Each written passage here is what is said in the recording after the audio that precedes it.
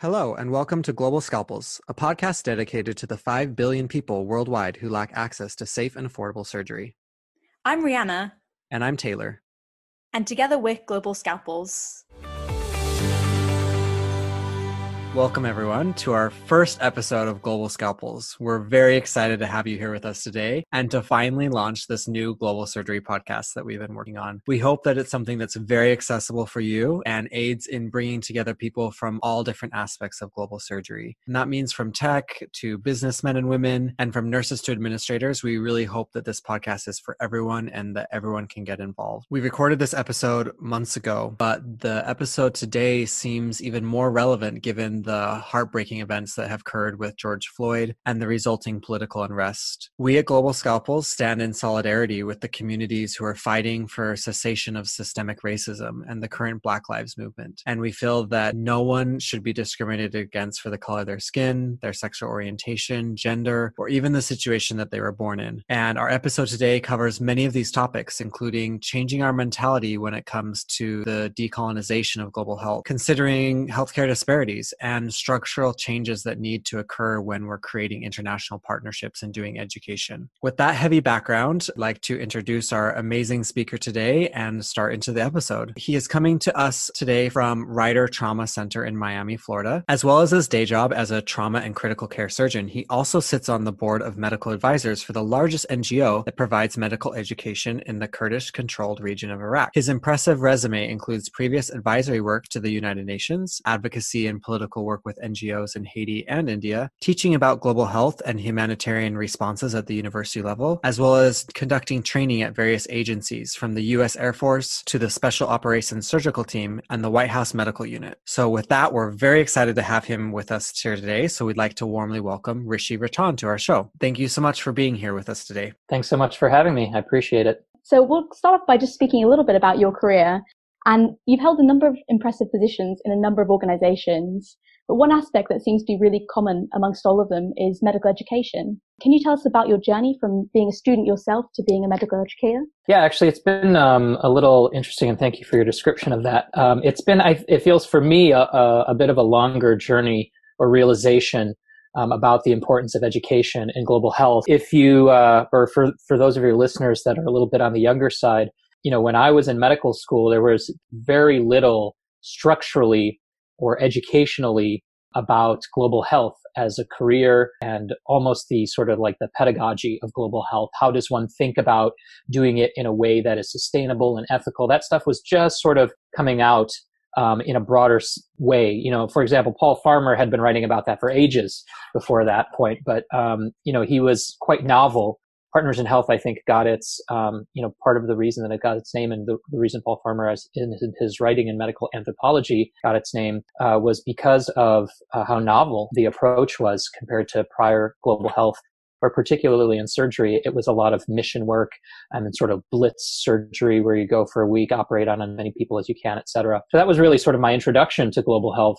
And um, as I sort of progressed or evolved in my work and became uh, increasingly disillusioned with the effects of what I was doing, that really sort of pushed me uh, to read about the ethics of global health, the difference between humanitarianism and development work, how that can be applied to global surgery as I started leaning towards surgery. I, I kind of came late to the game in terms of my interest in surgery. All of those things, again, sort of led me to really think critically about what I was doing, what the effects were, and, and really sort of hold space for how I was feeling and, and not necessarily all was good, but those situations in which I felt bad about what I was doing again, for the audience who's been involved in global health, it's almost this kind of trope when you're debriefing. Tell me about a situation where you were asked to do something out of your scope of practice and, and that struggle of like, well, it's better than nothing versus, well, this is really unethical. I would never treat someone in my home institution or home country like that. And so I, as I tried to address that within myself, I really I got introduced from peers and, and other role models and mentors um, to the concept of really focusing on education. It really resonated with me to be able to not bring my own skills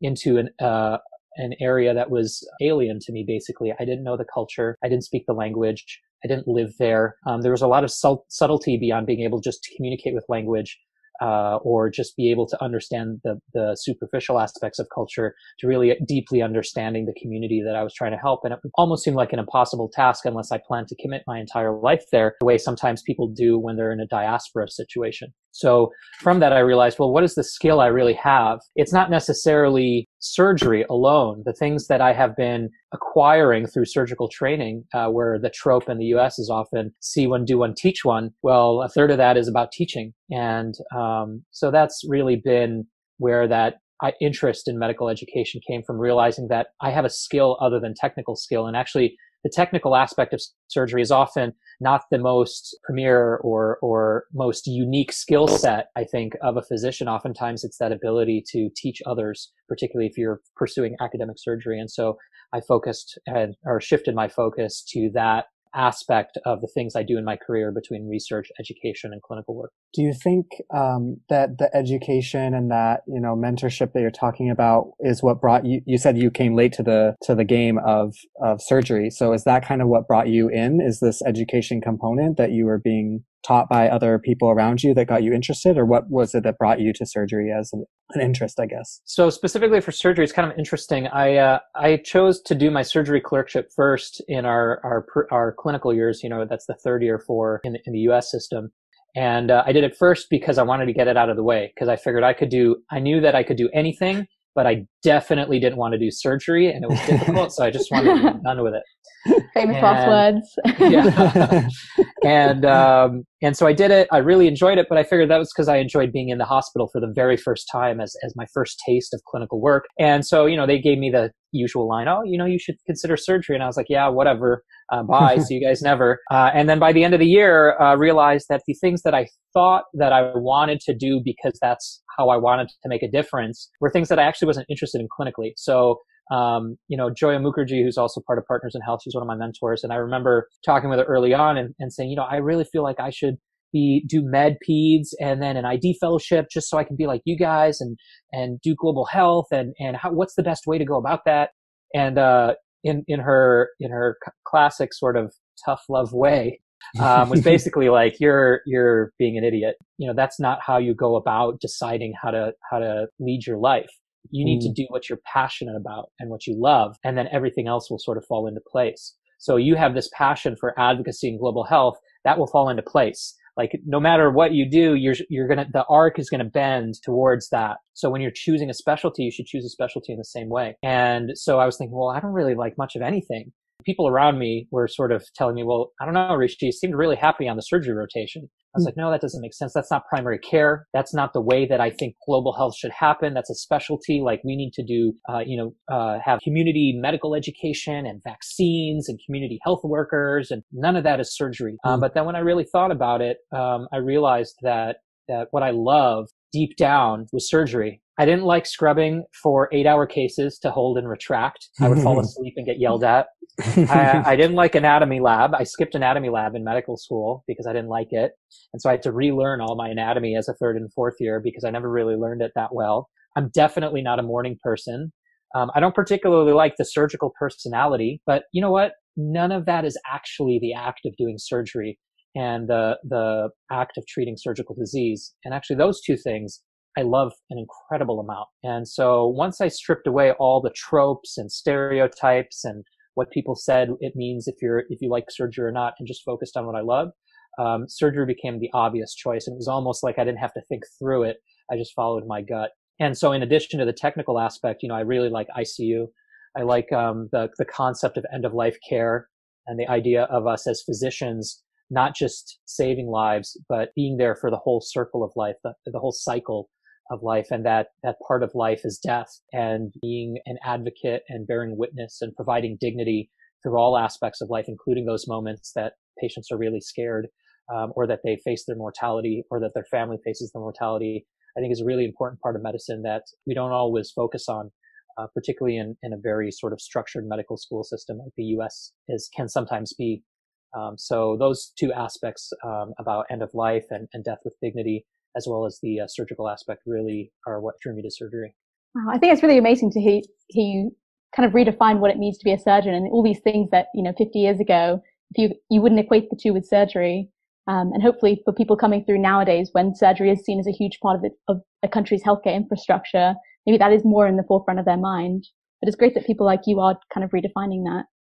Absolutely. And you know, it's it's also been redefined by my peers and and going to the surgical conferences nowadays and hearing people talk about what's important to them in surgery or just even looking at the papers coming out of say JAMA surgery and it's talking about um, gender inequity and discrimination and implicit bias and and how we can be uh, better train our trainees, how we prevent burnout.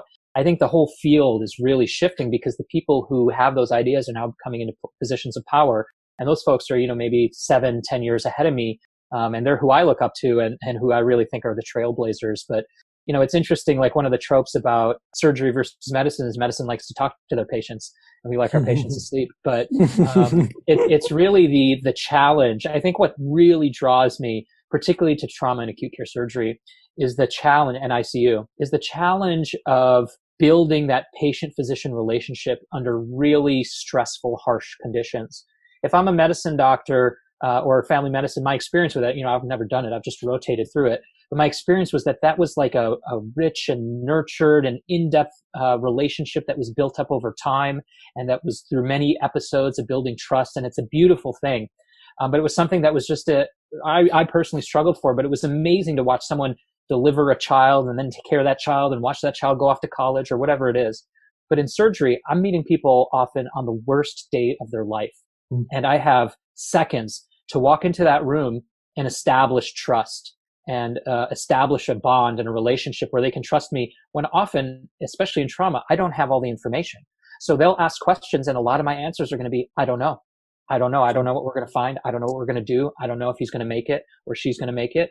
And then in that area of uncertainty and newness and I'm a stranger, being able to navigate that in a way that provides dignity and, and uh, assurance and um, a connection, a human connection to provide comfort, I think is, is a, it's a unique challenge. And it's one that I really love trying to address every day. It's so inspiring. It's it's great to hear. I mean, ch- challenges are going to come in so many different forms, right? Whether they're in COVID and this whole thing, if it's in training, if it's in disaster relief, as we'll talk about later, or if it's in the worst day of someone's life and you're coming in with limited information. Obviously, as we talked about in your inter- introduction and your bio, that you have done a lot of different things outside of medicine as well and you currently sit on the board of one of the largest NGOs that provides clinical and medical education in Kurdish controlled Iraq. On this theme of challenges, what are some of the challenges that you have found while delivering medical education in that setting specifically? Yeah, you know, I think it's a very, very challenging and complex situation. And it's one that I have tried to be very thoughtful about my role. Um, and so it tends to be a limited role, even though I sit on the board um, you know, initially, uh, first the, the organization kind of courted me for like, I think two years before I mm-hmm. even said, yes, I'm, I'm willing to do this. And then even once I've said yes, the involvement has been very focused on what I think is, can be an ethical involvement. I think first of all, um, the, the clinical infrastructure there can be potentially very different. It's surprisingly not as different as we would expect um, we are working there with cardiothoracic surgeons and, and in the ICU and doing major surgery and orthopedic surgery. They're doing major reconstructions.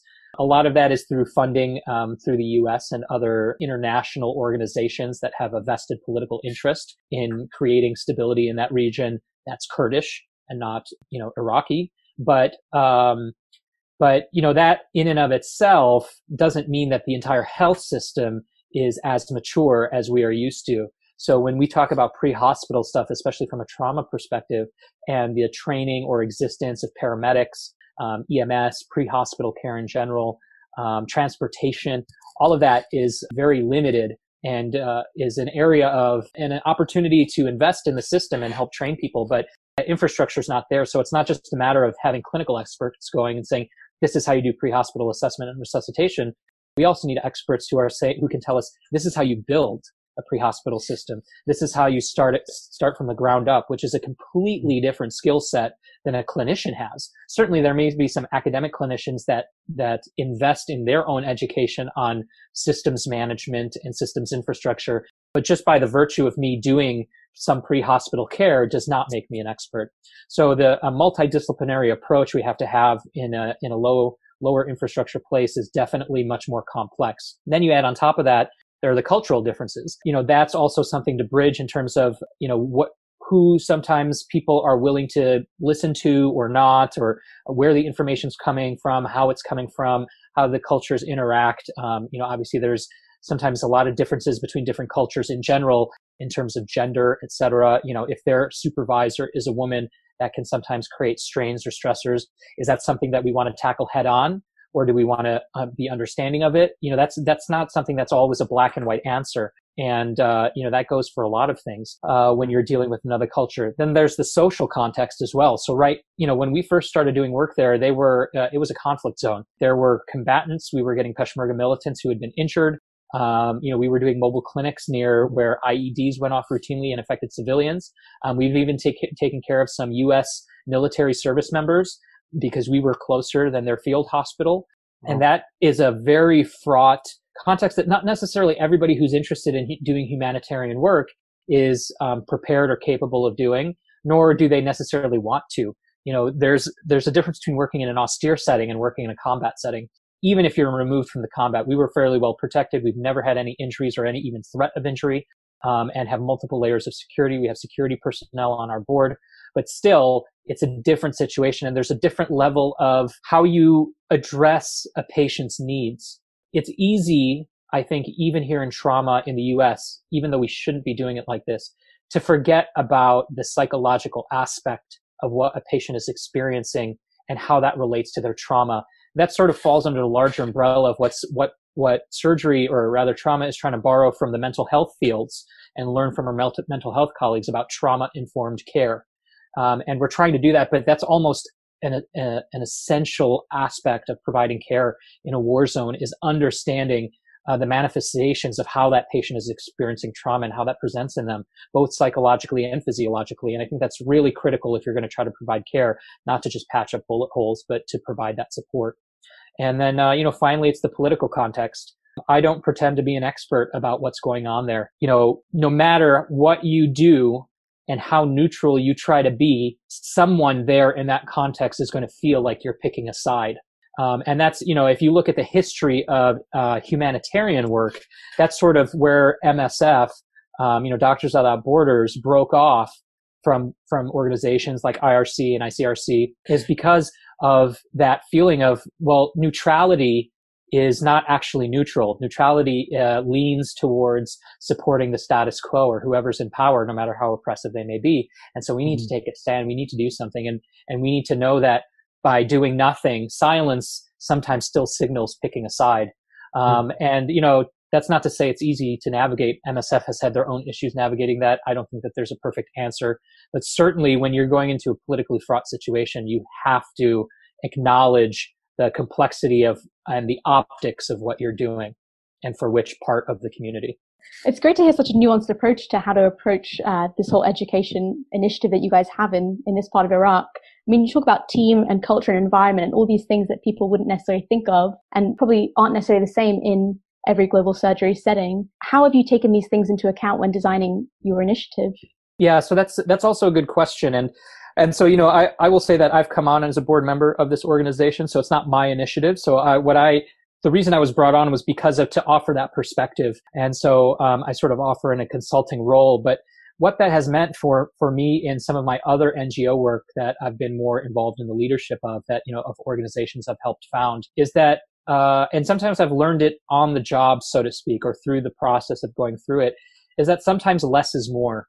And it really has led me to introspect about the reasons I'm doing the work that I'm doing and really try to pay attention and listen to the effects that my work is having and realizing that sometimes that means even if it feels like I'm doing good work, the right thing to do is to sort, to sort of take a step back a little and focus inward or focus on myself or focus on where, where the power actually is and where I have access to power. And so examples of that, I think Haiti's a good example of that. When I first started working in Haiti in 2007, it was purely clinical. And um, I very quickly developed a lot of mixed feelings about what I was doing.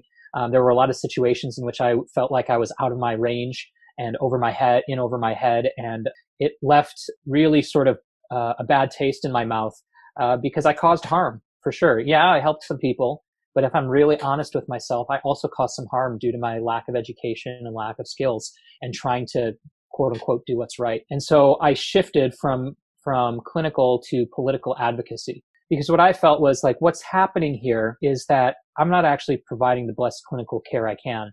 Even when I was an attending, I still don't, as, as a faculty member, fully trained and doing training for other people, I still sort of resist doing purely clinical work unless I, am uh, being accompanied by or under the supervision of a Haitian surgeon. They don't have to be senior to me, but by the very nature of the fact that they're a Haitian surgeon operating in Haiti, I think that gives them uh, a supervisory role to me. And so I'm happy to help out with them, or if they want to double scrub, or if they say, you know, can you help work some shifts uh, in the hospital while you're here? And, you know, I'm, I'm around if you need me or whatever. That's a lot more palatable to me ethically for my hmm. own personal ethics um, than my previous work has been. And so during when the Haiti um, earthquake happened, we were really sort of um, trying to think about how we can clinically help uh, our colleagues, we had started an organization with uh, Haitian medical students. So it was like med student to med student, resident to resident. How can we help? And we were thinking, you know, we'll get IV bags and, and splints and ace bandages and everything. And they were like, no, we just want books. And we're like, what? This is insane. This is crazy. They're like, listen, we have lived through so much disaster in our lifetime. We don't need help living through disaster.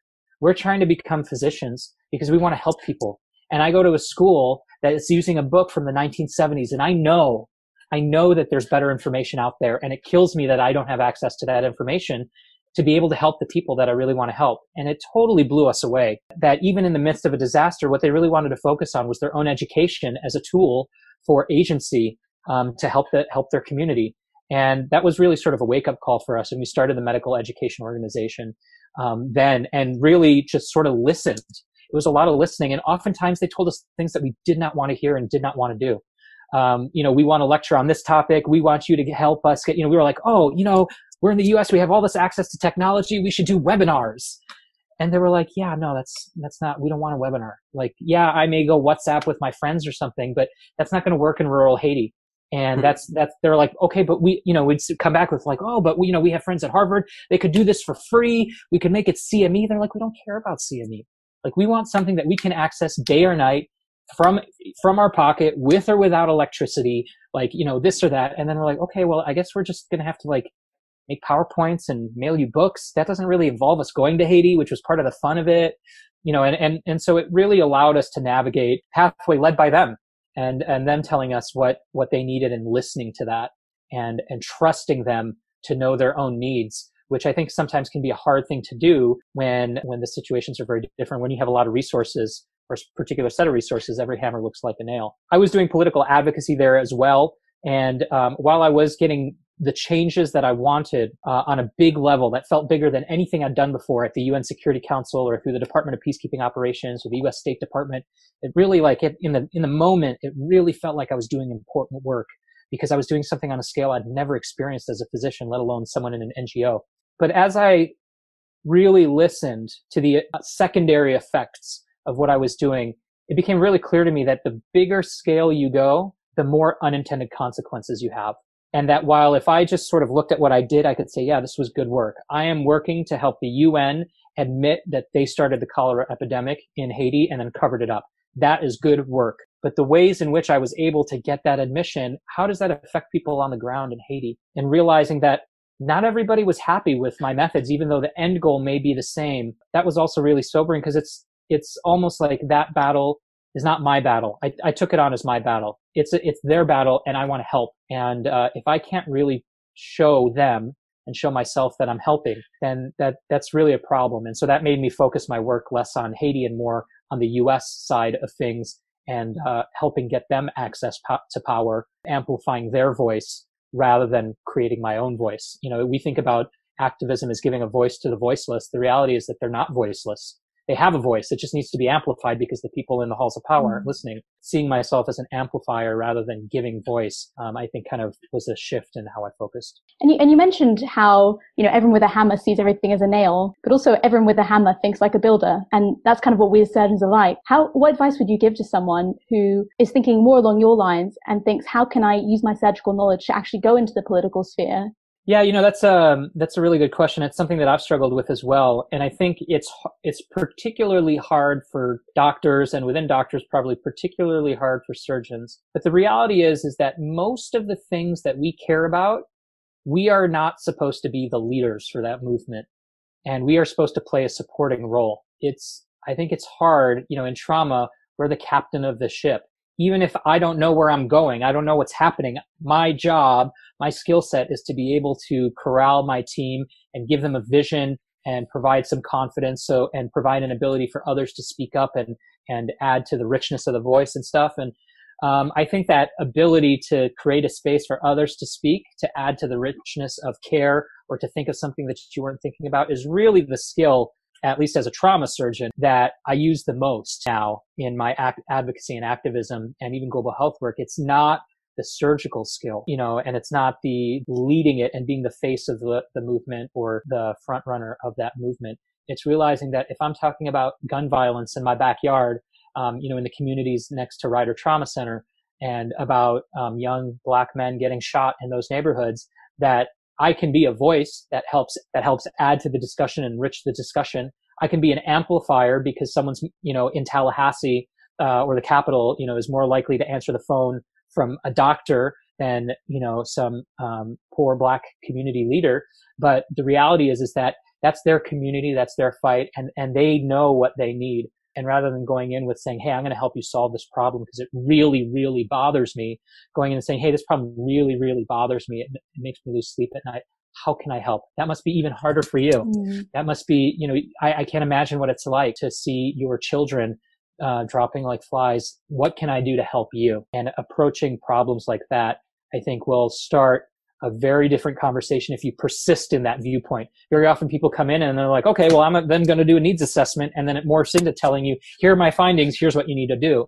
But it's really kind of keeping that or, or sort of trying to like push back that hubris of, of saying, I'm a leader in my field or in my job, so I can lead this situation and mm-hmm. realizing that we probably need to be doing more listening as you said, it's that's kind of hard for us to do sometimes as surgeons, right? We kind of want to just do rather than sit back and, and take the more listening role. So I think you've hit on some very, very interesting and important points. I would like to circle back to one thing that you mentioned earlier. You said one of your points was that we need to have more multidisciplinary teams and we need to be thinking not just a surgeon or just this, but thinking more broadly. So do you think that I, th- I, think there's a movement for that in the states as well right? You kind of have a, a, patient and you have the respiratory team and this team and this team and all these different teams are coming together to manage the patient um, and they're all experts in their fields. How do you think those teams are different maybe in a low resource setting or even a disaster setting than perhaps what we think about them in the state? That's a that's a good question and i think um, i think that that's what the uh, it, it's almost i'm going to try to channel joia uh, in giving my response because I I ha- see so many med students and residents saying, "What kind of doctor do I need to be?" Uh, sorry, rather undergraduate students before they've chosen medicine. People who find these topics interesting, they would often ask me, "What kind of doctor should I be?" And uh, I think the reality is that the doctor is the last person you need in responding to global health problems. Doctors treat disease. We are a tiny slice of public health, and we're we're a post hoc intervention. It's after you've gotten the disease uh, that we sort of step in and say, "Oh, hey, what can I do now that the now that there's a dumpster fire? How do I put it out?"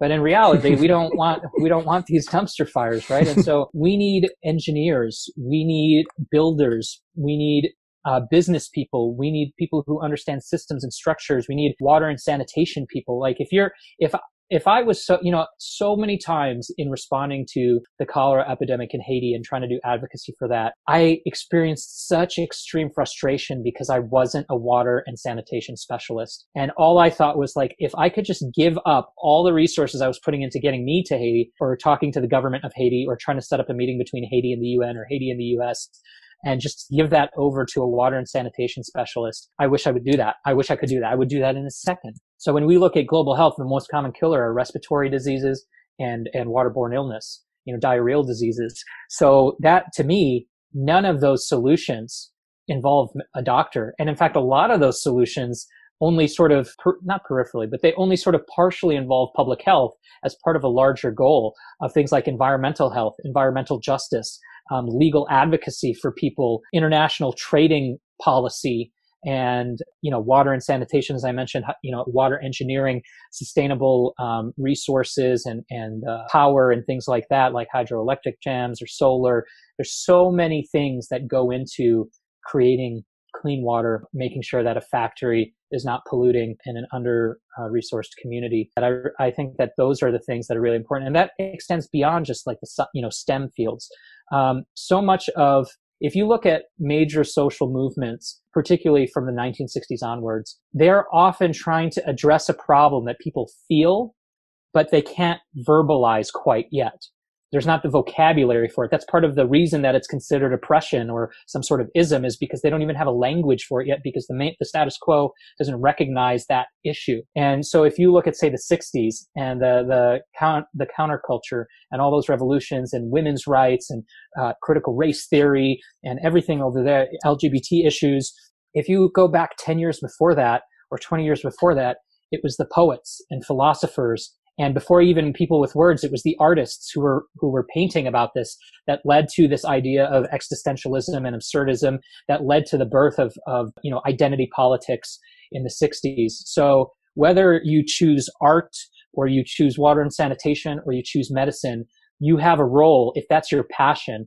you have a role in in amplifying voices and and quantifying and characterizing those voices and it's i've seen poets and artists and philosophers do that as, if not more powerfully, than public health experts in certain situations. Yeah, I mean, I think we just really need to challenge our paradigm of thinking of what is public health and what is, or global health, or even global surgery, right? We think it's very surgeon centric. But as you said, like perhaps the person who's like most important in that thing is the person who's sterilizing the equipment, right? Or like maybe that's the person that is actually the most important person rather than the surgeon or something. And in, in full disclosure, I mean, I'm interested in that as a joint degree student who's currently getting an uh, MBA because I saw that same need in some of the systems that I was working in that a lot of the issues I was seeing were not clinical at all they were administrative issues, as you pointed out, or water sanitation issues or whatever that the you know, administration wasn't aware of or didn't know about because they maybe didn't have the clinical background to see that as a problem. So it's that liaison between, you know, the medical expertise. As you said, we, maybe we don't need a doctor for that, but we do need the doctor to identify the problem. And then we need to pass exactly. it on to someone else to, who has the expertise of the water sanitation or the finance or whatever it is to get that job done. But it maybe isn't the role of the doctor to do so rather than identify. Beautifully said.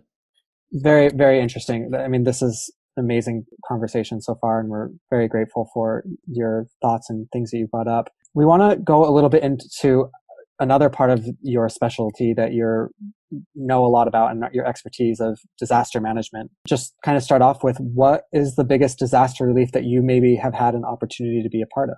That's um, that's a good question. So, you know, in one way or another, I've helped out uh, after the Haiti earthquake and cholera epidemic, and uh, you know, obviously helping here with this COVID pandemic. I haven't had too much other experience in terms of boots on the ground with, uh, you know, like a big disaster.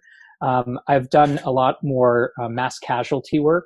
So, for example, if I was in India, um, you know, I don't know that it would have even made national headlines in India, but for our community, you know, there was a forest fire that raged through and uh, burned down an entire village. Um, and that sort of totally overwhelmed the health system in the region. Um, and so managing that, uh, you know, I don't know that I would call that a disaster on the level of a national or international disaster.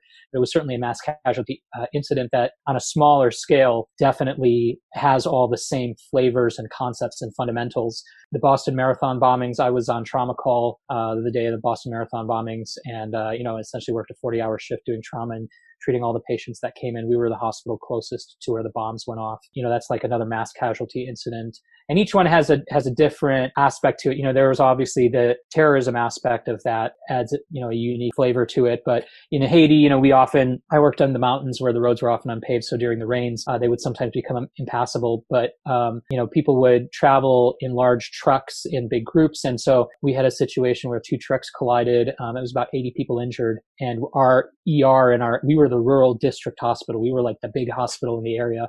Uh, we had one ER bed and no blood, no surgeons, uh, one ultrasound machine, um, and then we had all of a sudden 80 patients.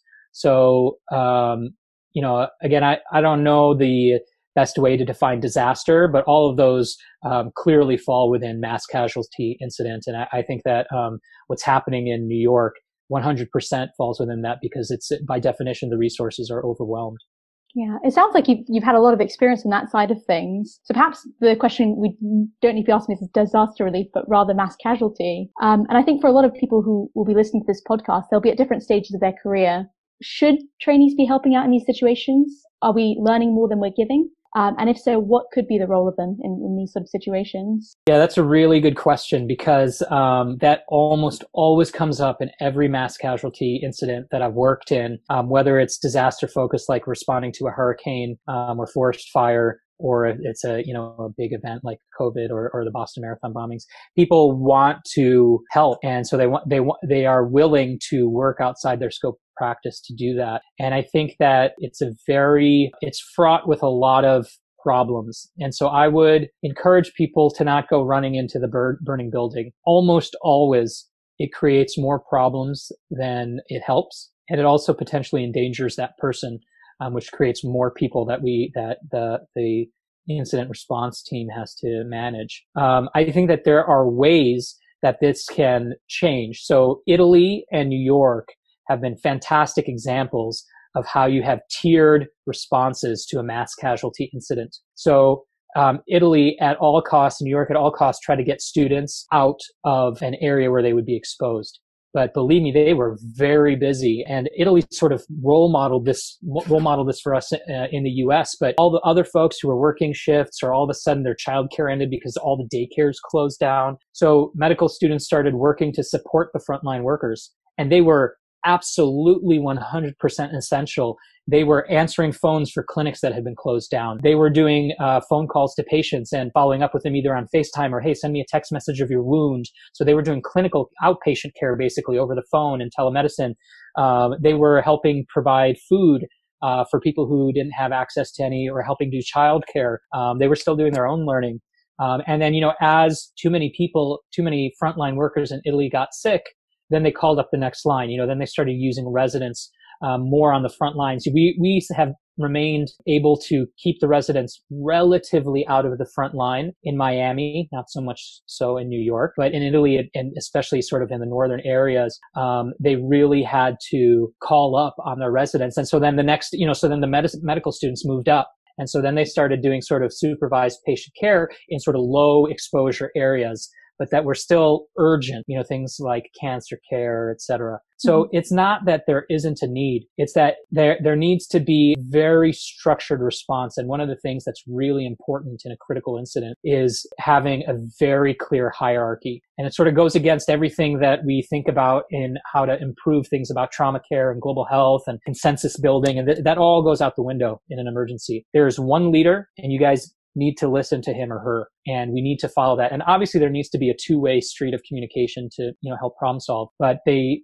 people need to sort of all fall under will and be willing to fall on, all under one leader. And you know in the boston bombings i was taking care of trauma patients as much as i could and then when trauma patients started overwhelming my ability and my trauma team to take care of them I found med students. And oftentimes they were just sort of standing there waiting because they knew they had been told stay out of the way, but they also knew that they might be needed. So they were staying out of the way and they weren't doing anything, which feels incredibly difficult in the middle of a disaster. People are running around. People are coming in screaming. Mm-hmm. Um, you know, people had, were coming in with partial amputations, mangled extremities. Uh, it was a very, you know, and, and to just stand there is extremely hard, but they did. And then when they were called up and they were, and I was like, Hey, listen, this person is not dying but they have these lacerations that you need to fix. And there wasn't always the time to be like, hey, do you know how to fix a laceration? Have you done that before? Um, so that was that kind of coming rising to the challenge uh, because the standard of care goes out in a mass casualty incident. Um, I mean, that's sort of again also the definition. You're not able to maintain the standard of care. So there's a little bit different ethical approach to a low resource thing that might be development related versus a low resource issue that's humanitarian or combat or you know terrorist incident disaster related. But in those situations, there's not really as much of an ethical problem because that because our system is overwhelmed. We need them to figure out how to suture uh, on the go um, and there certainly were instances like that. I could tell. I, they're like, you know, I, I, have only really done it on a, on a simulator. And I was like, okay, well, just take your time. If you need help, like see someone who's not busy, holler for help, but you're on your own and I know you can do this. And they were again, critical members of the, the mass casualty response, but it doesn't mean that they were the front of it. Yeah, I mean the team. There's a lot of members of a team when you're doing this, right? And so they, they're. Well, I guess what you're trying to say is there's there's a role for everyone in different things, but you might need to, you know, take on a different role than maybe you're used to. Um, and I think even, even that goes for surgeons or wherever you are in your level of training, you might be doing things that are outside your comfort zone or what you might normally do, but just to be following the lead of those who are there. And, you know, many people come together to help in a disaster. So can you talk about some of the other players? We've been talking mostly about clinical players, but can you talk about some of the other players, NGOs, government, philanthropists, other people who are also coming together to help in a disaster and how you can best work with them. You talked a little bit about advocacy. And besides medical skills, what other skills are really necessary to coordinating a, a disaster relief initiative like this? Absolutely. And I think um, I'll, I guess, maybe take a little bit of issue with I think that your phrasing of the question was idealistic. Um, I don't. I think that one of the biggest complaints in once the dust settles and looking back on disaster response is very often people didn't come together to respond to a disaster. And there were lots of silos or lots of duplications of, uh, of work and a redundancy that didn't need to be there. And so I think like the really big thing on a big scale that needs to be better with disaster response is that coordination for efficiency. And I think that it's going to be really hard uh, with NGOs and private philanthropists because everybody sort of wants a piece of the pie and everybody thinks that they can do it better than the other organization. So people should follow their lead. People should donate to them. And it's not that sort of single hierarchical structure or organogram. And I think that's one of the biggest problems with dis- disaster response these days. That said, um, absolutely NGOs and uh, sort of private sector people uh, are essential to a lot of disaster response because I think that the biggest thing about disaster response is not actually the provision of care, but it's the logistics. It's the, it's the supply chain. It's the being able to get something from point A to point B when, when all the airports are shut down, when you don't have a plane or when you have a plane, but how do you get, you know, fit enough stuff in it? Or how do you get the stuff to the plane when it's a plane size, you know, amount of supplies? You can't just put that on a truck. What if the roads are closed? um, you know, in a disaster area like earthquake, like the Pakistan earthquake, you know, how do you get something out there? Okay, we can use helicopters. All right. So, but where do you get all the helicopters? How do you, so you can use military helicopters, but they're using it for their logistics. So how do you nationalize the use of all the tourist helicopters in Pakistan for use of disaster response? So I think all, and, and every point of that, um, logistics side or supply side or transportation side um, is really complex. I mean, people have PhDs in sort of industrial engineering and system science, and they you know, we still don't have this figured out.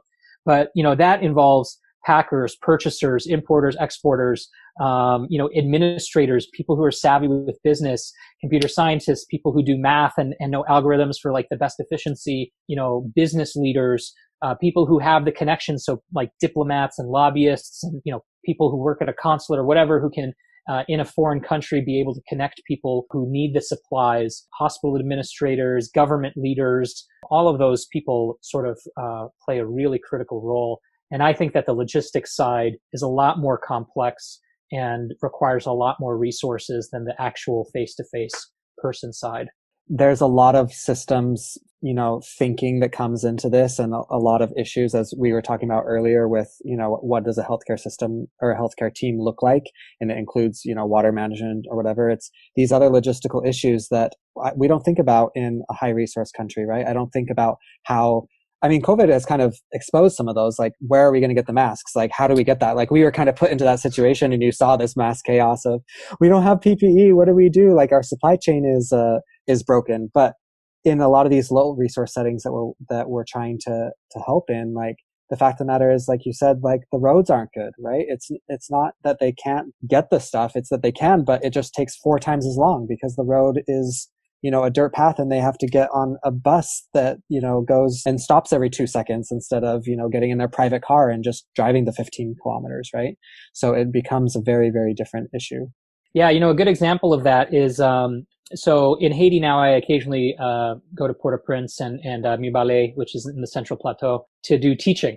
And my teaching of an ultrasound course is example fast. Uh, the fast exam in trauma is completely different. Um, I, you know, 100% of my teaching of ultrasound in uh, for trauma or surgery residents and stuff is clinical focused. It's how you do the fast on the person and get the views. I would say that's about uh, 20% of my teaching in Haiti. 80% of my teaching in Haiti is how do you uh, fix a broken ultrasound machine? How do you know when the ultrasound machine is broken, mm. right? Because you hear that story over and over and over again. Someone donated an x-ray machine. Someone donated an ultrasound. Someone donated a, a CT scan. And that's all well and good and it seems phenomenal. Someone dated lap, uh, donated laparoscopic equipment. And then you go two years later and it's sitting in a corner get, gathering dust and people are like, why? What happened? This is why we can't be giving this these materials to these people, and whatever whatever people say, you know, as the criticism. But it's just ridiculous because what you're providing is a technology without an ability to maintain that technology. Whether that technology is knowledge about how to do a primary survey, or whether it's an ultrasound, or whether it's laparoscopic equipment, it's all in a sense technology, and so you have to provide the ability to maintain that technology. And so there's no point in donating an ultrasound machine to Haiti um, and get and working on all the trouble of getting it there if one day someone knocks a couple knobs in the back and now the screen goes black and no one knows how to fix it because it was a donated machine so it didn't come with an instruction manual right? So mm-hmm. so a lot of that work you have to sort of pivot and realizing that you know actually i had to learn to give that lecture. And it took me like the number of hours i had to sit there figuring out how to do that. Whereas like actually what they really needed was they needed an ultrasound tech ultrasound tech to to give them that lecture. That like the getting the windows is easy. That doesn't require a surgeon. Anybody can do that, and an ultrasound tech probably can do it better than a surgeon because they do that all day every day. So it's not about getting the the view. It's about how to work the machine. Mm. And uh, you know, I wasn't the expert. And a lot of what you say about having it locally driven, context specific, a lot of the stuff really resonates with a lot of stuff that's going on nowadays. But there's also a lot of stuff that, that isn't conforming to that. So I think all of that is just really good advice to take on board for anyone who wants to do any work anywhere, uh, really. Um, you've transitioned us on quite nicely to our next session, section, which is looking a bit more about the training that you do. Um, so you train in Haiti and you've also trained for a lot of other agencies. So the US Army, the White House Medical Unit, just to name a few of those. Can you give us an example and just tell us what training for these institutions actually looks like? Sure, absolutely. It's it's a little bit different for for every agency. So, for example, the Army Trauma Training Detachment uh, that works with us, we train all the forward surgical teams before they deploy, and the the concept is that they actually see, even at the height of the Iraq uh, War, uh, they saw more penetrating trauma in Miami than they did in the war, and so they get uh, they sort of get a, a run up and better training that way. And so that is largely clinical, though we also do um, lecture based. We do simulation based with them and then we do cadaver based cadaver tissue training. Um, and that's sort of taking time to go over difficult surgical exposures that they may not see, but that they need to know like the back of their hand to do. We do that with cadavers. And then we actually do a live tissue training, um, which is, is, uh, I think really useful. I am, uh, in general, against uh, the use of or like animal testing and experimentation on animals. But I think uh, particularly like clinical, like you know the way we used to dissect pigs and stuff. I don't know if you guys ever had to do that, but we had to dissect pigs and frogs and sheep, and it's like I don't know that that's necessarily useful. But in this live tissue training that where we use live pigs, I think it's absolutely critical training for our combat surgeons. And so basically what we do is we recreate a field hospital. So we turn the temperature up to like 100 plus degrees Fahrenheit Oh um, we have speakers that are um, basically creating background noise, whether that's helicopters or mortar fire at about 100 decibels. So it's really hard to communicate uh, because you can't hear what's going on. Um, we bring in pigs and, and we, we uh, basically injure them um, and recreate traumatic injuries, and they have to operate on them and save the pig's life. Um, you know, the pigs are, of course, totally anesthetized to this. They don't feel any pain or anxiety or anything like that. Um, but it really recreates the pro- problem of of what it's like to be in a combat setting and have only there's no way to train for that to save your your buddy's life. Um, you know, these are all people going into combat as well. Um, you know, we'll have rotor downwash, so we'll blow dust and flour into the field. Uh, we'll cut electricity in the middle of an operation and cut the lights in the middle of an operation. They'll have to mm-hmm. go through the process of, um, you know, they'll bring in a, a national and they'll operate on the national. The national will have an unexploded ordnance uh, inside them. So it was sort of like a Trojan horse going in and how to how to manage that situation. That's situations I've also done in the field um, with the Swedish Army Special Forces. So I've embedded with them during their military exercises for a week, where we have Black Hawks flying overhead and tanks going through the forest and recreating these situations for the Swedish Special Forces um, and how they'll manage under combat if they're under attack in the middle of an operation. If they could save someone if they had 20 minutes, but they don't, and having to let that person die who's wide awake um, and who knows what's going on. Um, so very high stress situations, and and again, a lot of that isn't knowing the medical answer.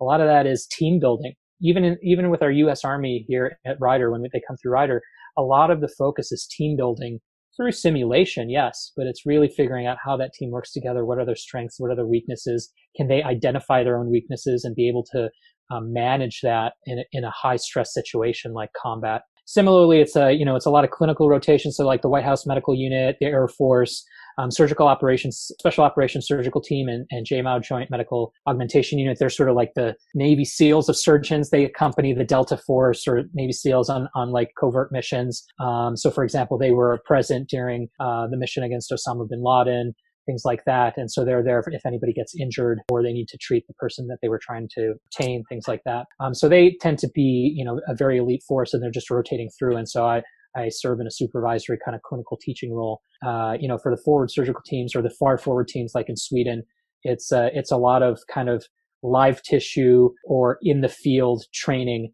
where we try to create as as much of the realistic stress as possible and see how people react and how they work in that.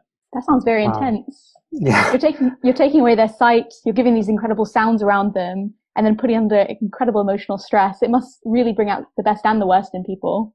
Yeah, it's it's uh, it's really interesting, and you know, it's it's very different being the instructor. Uh, you know, I was going to the, the Swedish woods, and I was, you know, thinking, you know, like, oh, this is really nice, kind of like camping. The sunsets are five hours long you know, the MREs are not that bad. It, it, was very cold and wet at night for sure. But, you know, I, there were times where if, if they made the wrong decision, for example, and they were outflanked by the enemy and they had to stay put for 24 hours, and we thought we were just going out for two or three hours, um, they were stuck. We were stuck there overnight, 24 hours, cold, wet, without enough equipment. Maybe we didn't have enough any food, or we ran out of food the first couple hours because we thought we were just doing a thing. You know, of course, again for the instructors, they'll come sneak us food and stuff.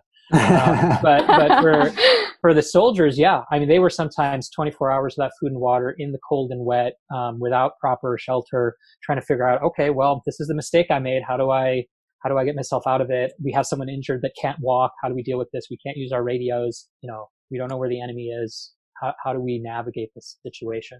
Wow. And, and how, how do you do that? So what, what are the keys to getting these people who are probably incredibly hangry and cold to actually work together? Yeah, so so just in the same way that trying to address a complex problem like that requires multiple instructors, each uh, kind of squad had multiple instructors. So my uh, role was creating the clinical pressure, and I coordinated with the uh, military folks who were the instructors who were creating the the situational pressure. So we would you know figure out our thing. So I have zero expertise in figuring out how to come up with the right answers in a in a combat setting about how to navigate all those logistics. But I was all I was always paired with a, a military instructor, and so you know I would come up with a clinical scenario, and then I go to them and I was like, hey, I want to stress them a little more because they seem like they have a handle on this. I want them to have this other person's buddy come in and, and try to force them to to operate when they're not operating or tell them that they need to, that their commander is saying you need guys need to break down your tent and stop treating everyone and move because you're about to be under attack. You have 20 minutes. And you know breaking down the tent takes 30 minutes when everybody's working together let alone treating patients. So we you know often worked in coordination to create those uh, scenarios I wish I could just be a fly on the wall. I watch this. It just sounds so fascinating to just, you know, watch this. Uh, I, I mean, I think Rihanna brought up a, an interesting point, you know, when you're tired and cold, but I think another component of that is when you have complete strangers who are coming together to work, you know, for a combat, whether that is complete strangers on the same I don't, don't want to say on the same side, but like maybe from the same culture, but then also cr- across cultures, right? You have people if you're in you know a foreign place and you're working with locals you might be working in an interaction where they're complete strangers. So what principles do you guys use in these trainings to promote effective team working among strangers yeah, that's really, really important. And that can be extrapolated to any situation. And it's, it's sometimes particularly in a disaster setting, often the higher stress the situation, the more likely you are to be not working with the team that you're aware of. Um, so, or that you've known before. So yeah, uh, in that situation, um, I think clear roles and clear expectations are really important to discuss together at the outset, um, if possible. That's one of those situations in which consensus building can actually p- play more of a role before the situation hits you.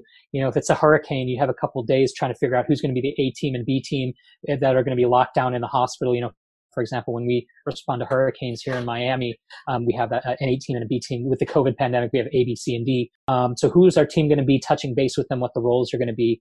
Um, if you hear that, okay, we're getting a medical evacuation, I also do air medical transport for disaster management. So a lot of the like evacuating Diamond Princess and evacuating people out of the cruise ship in Yokohama, uh, etc. You know, who is your team going to be? And so, and being able to meet and figure out who everyone is, what they're coming to the table with, what they think their strengths are, what they think their potential weaknesses are and being open and honest about that. And then learn and having a sense of trying to anticipate needs and how we're going to deal with those things. A lot of that is sometimes uh, imagining situations. How would we deal with that? Who who would do what?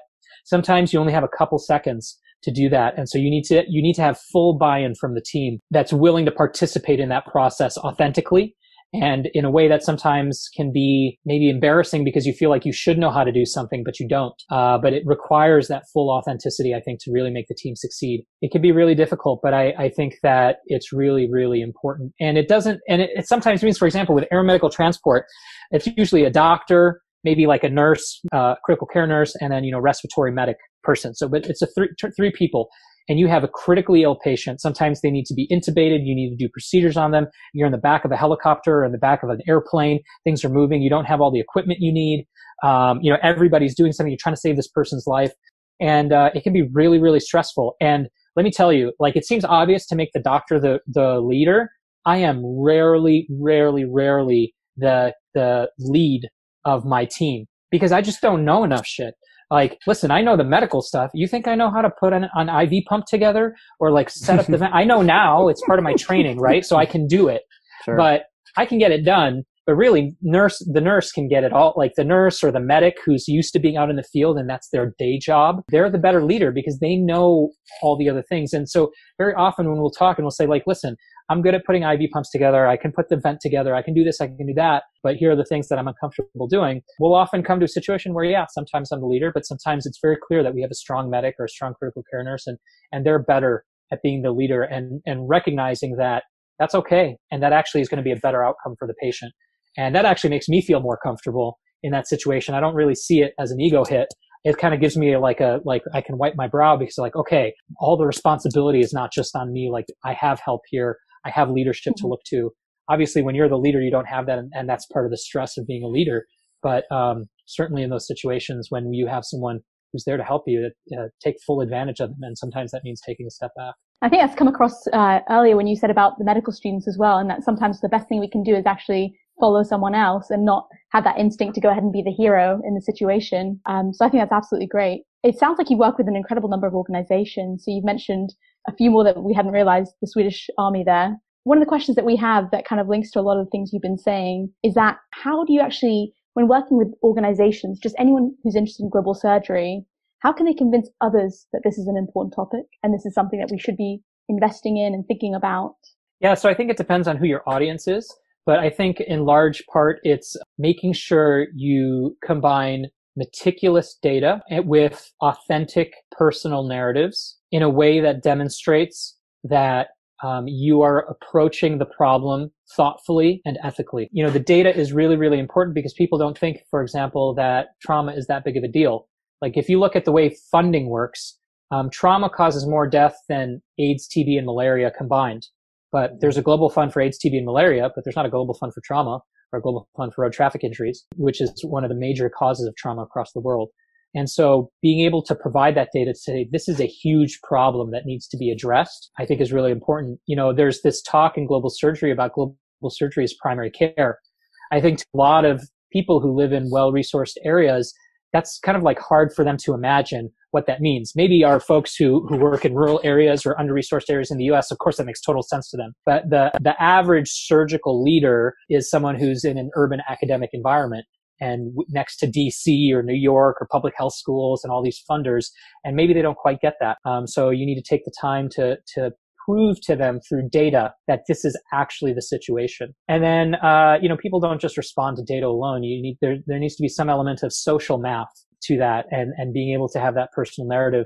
And uh, the reason that needs to be authentic is that you need to make sure that you're doing it in a way that doesn't co-opt someone else's story uh, in a way for, for your own gain. Um, you know, it obviously needs to be done with consent. It needs to be done in a thoughtful and empathetic, compassionate way. Um, but it also needs to be uh, a story that I think that is is partially yours as well to share.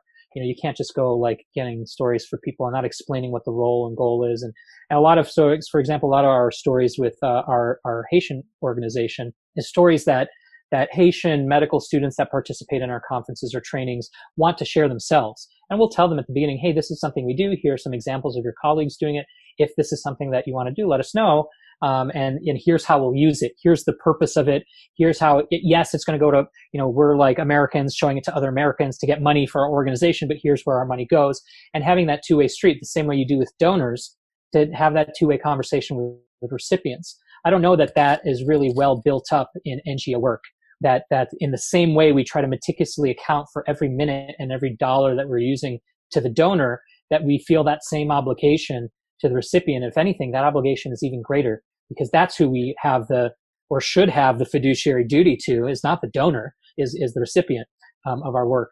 And then uh, and then you know that that leads into the ethical aspect of it. We need to be doing work that is a partnership that is sustainable um, that actually helps people in the way that they need help. And oftentimes we cannot be the deciders of that, let alone a donor. That can make it very complex, but I think that if, if we try to keep those three principles in mind, we will be way ahead of the curve compared to an average NGO. I think that's amazing. Thank you so much for that. The entire session has just been so great for learning a, lot more about what you do and about how you approach the things you do. And I think there are a lot of useful lessons we can take from all of this. For all our podcasts, we always finish them with, with five questions. And the reason we do this is in honor of the 5 billion people worldwide who don't have access to safe, affordable surgery. So I'll just start off with the first one, which is what is the most recent book that you've read? Uh, the most recent book I've read is called The Hidden Life of Trees, and it's fantastic, and I highly recommend it. We'll we'll put we'll put the link in the description for, yeah. for the readers to be able to, to hear. Um, the next one is um, what's something that not very many people know about you, or a unique talent of yours? Uh, I don't know that I have many unique talents, but um, not too many people know that uh, I'm a skydiver, uh, and uh, that's one of my ways I like to both unwind and also be an adrenaline junkie. Is, uh, oh wow! perfectly good airplanes in my spare time. While you're doing tracheotomies and different things, yeah, right? yeah. the fastest way to get to the ground. exactly. Um, and number three is, what was your favorite toy growing up and why? Probably my bicycle. Um, I think once I learned to ride, I was like always riding my bike and trying to incorporate my bike into how I played. Because one, I would pretend that it was a plane and that I could be flying, which probably ties into the skydiving interest. uh, and two, it gave me a lot more freedom to go where I wanted to go, uh, rather than being stuck in the house. Um, the next one, number four, is uh, how would you spend a million dollars?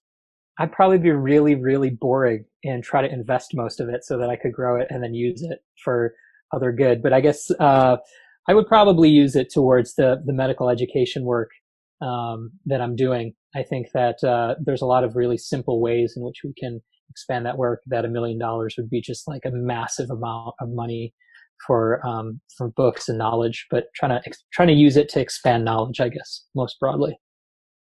Amazing. And you've given us a lot of good advice today, but what's the best piece of advice you've ever gotten? Um, I think the the it's sort of a, an amalgam of what people have told me, but um, is to trust your gut at its most pithy. Um, I have spent so much time trying to predict my life two years ahead. Uh, for example, two years after I started clinical rotations, I figured I'd be in anything but surgery. And then I did my surgery residency and I figured I'd do anything but fellowship because I was going to go work in Africa. And then I did a trauma fellowship. And in trauma fellowship, I said I'd do anything except academic medicine. And now I'm a professor at a university and do a bunch of research. And, uh, you know, I think there's so much in, in medical people that is, uh, type A traits where we really like to weigh the pros and cons and have a logical approach to a decision and have it make sense and know why we're making the decision we're making. And, um, I think we do that at the detriment to our emotional side and uh, trusting our gut. And the minute I started trusting my gut, all these decisions became super easy. I spent like hours and hours and days and weeks agonizing over my rank list trying to decide where I was going to do residency. And then by the time I got to fellowship and had been taught this lesson by a bunch of people that I really respect and admire, uh, it was no stress. I showed up to interviews without notepads. I just sort of went with my gut. And it's been one of the best decisions of my life where I ended up here at Ryder Trauma Center, uh, where I now work. Um, but yeah, I just trusted my gut and it, I took about 25 seconds to make the decision to make my rank list and just went with it. And, uh, it turned out great. So I guess that would be my piece of advice. Fantastic. It sounds like you've done well on the back of that as well. So um, thank to. you. Thank you so much for taking this time to share all of your experiences and answer all of the questions we've had. I'm sure it'll Thank be you. incredibly useful for everyone listening to this podcast. Um, Taylor, I don't know if you have anything else to say no, we're just so grateful that you were able to to come and and be with us. And I I know I took a lot from from this today as well, from trusting my gut to the multidisciplinary team, and you know, and listening. I think those are all really important things that you brought up and topics that I think that I definitely want to take away from this as well. So thank you so much for your time. Absolutely, thank you guys so much for having me, and um, you know, good luck with all of your work. This is an important endeavor. Thank you. Thank you.